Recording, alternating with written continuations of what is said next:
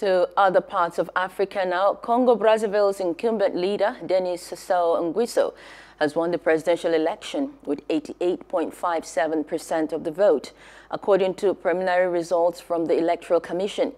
It will see him serve another five-year term. The 77-year-old leader has been in power for a total of 36 years.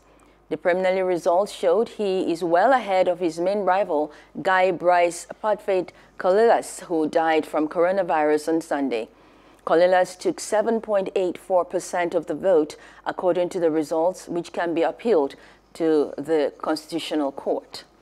Hello. Hope you enjoyed the news. Please do subscribe to our YouTube channel and don't forget to hit the notification button so you get notified about fresh news updates.